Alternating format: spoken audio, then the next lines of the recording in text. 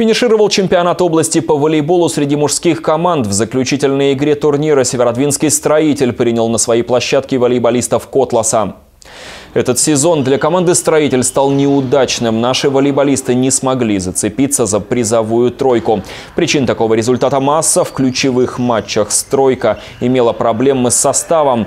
Травмы, работа или служба игроков не позволили показать все, на что они способны. В заключительном матче против команды «Котласа» наши волейболисты победили 3-0, но в итоговом протоколе довольствовались только пятым местом.